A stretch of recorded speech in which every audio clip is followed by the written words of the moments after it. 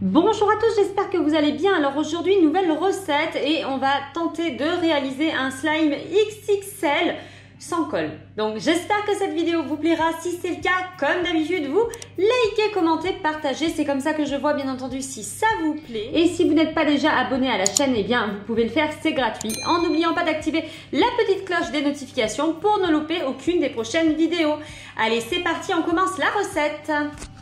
Alors aujourd'hui, j'ai choisi de vous partager une recette qui est hyper, hyper anti-stress, vous allez voir. C'est une recette de slime sans colle à base de gomme de goire.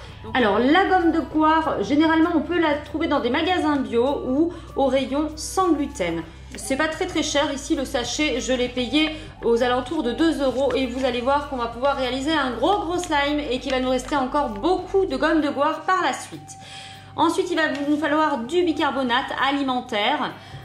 Ici, de la solution euh, pour lentilles et de l'eau. Et un petit peu, bien entendu, de colorant alimentaire pour rendre ce slime bien plus joli. Allez, c'est parti, on commence. Allez, dans un premier temps, on va commencer à vider de l'eau dans notre saladier.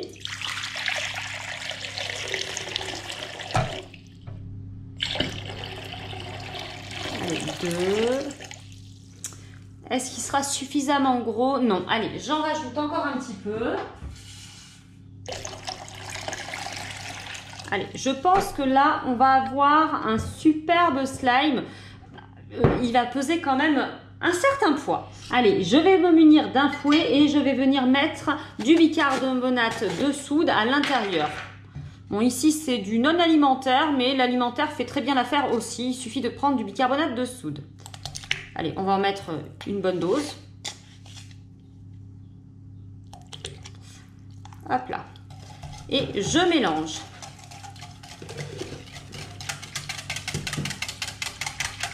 Allez, je vais venir colorer mon eau pour que ce soit plus joli. Et bien sûr, je prends ma couleur favorite, le bleu.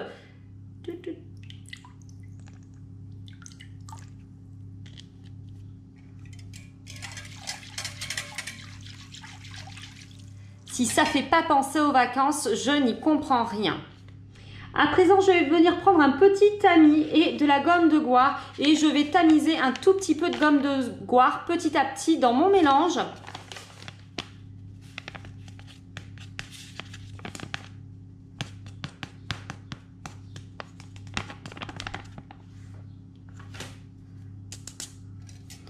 Allez, c'est parti.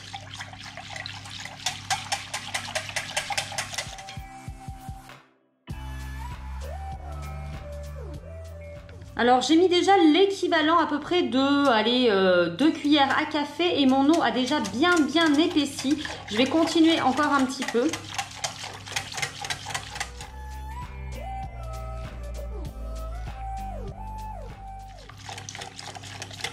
Allez, je continue un petit peu de mélanger cette texture, regardez, c'est déjà très très euh, presque slime. Euh, c'est assez particulier. Qui me dérange un petit peu, c'est les petits grumeaux. J'ai bien envie de les filtrer.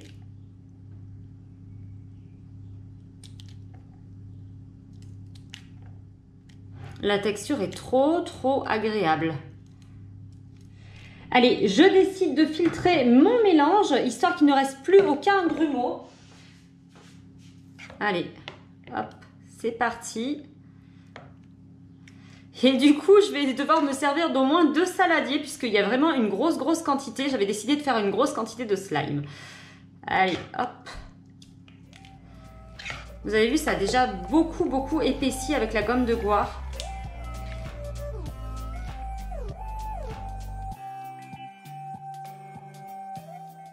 On a presque déjà un slime en fait. Hein. Je ne sais pas si vous voyez, mais on a quelque chose de très, très, euh, très, très jiggly. Bon, vous voyez, il y avait quand même quelques petits grumeaux. Ça aurait été dommage que ces petits grumeaux se retrouvent dans notre slime.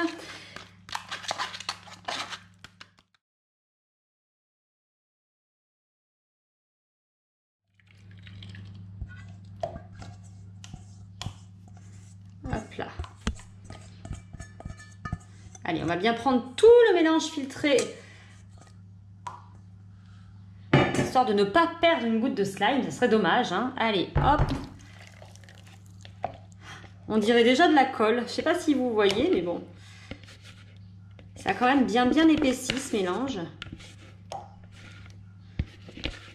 Allez, muni de ma petite marise, nous allons pouvoir enfin activer ce slime. Allez, c'est parti. Pour activer ce slime, je vais me servir de la solution pour lentilles. Celle-ci, je l'achète à Action. Et en fait, c'est là où je la trouve vraiment la moins chère. Et puis, je sais qu'elle fonctionne. Allez, hop.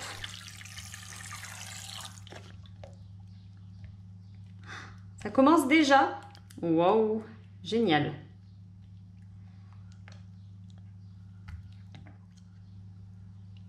Alors, vous vous rappelez, j'ai mis le bicarbonate euh, bien avant, sinon, euh, s'il n'y a pas de bicarbonate, le slime ne se forme pas. Hein.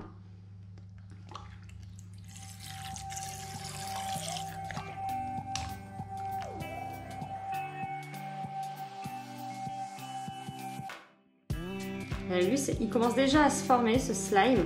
Il n'est pas tout à fait fait. Hein. On va continuer de mélanger. Ça commence. Hein. Oh, c'est trop génial ben voilà, j'ai mis les mains dedans, ça y est. Hein. j'ai pas pu m'en empêcher. Allez, on continue. On va rajouter de la solution pour lentilles petit à petit jusqu'à ce que le mélange ne colle plus au doigt.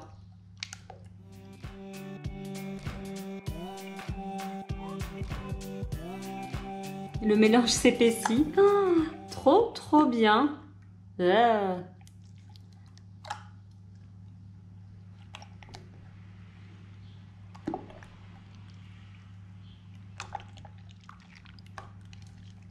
Alors, ça commence à se détacher, vous avez vu, du bol. Trop, trop bien. Regardez, hop là, ça y est, il commence de se détacher.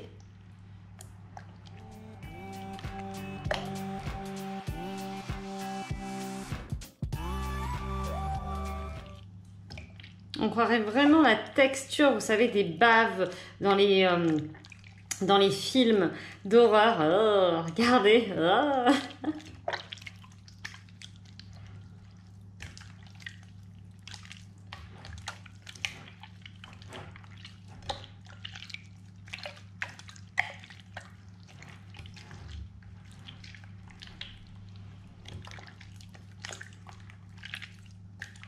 Allez, je vais rajouter encore un tout petit peu de solution pour lentilles, histoire qu'il colle vraiment moins, mais euh, vraiment il colle de moins en moins.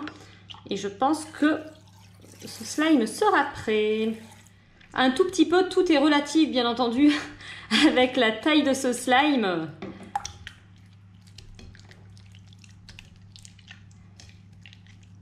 Waouh, ah ça y est.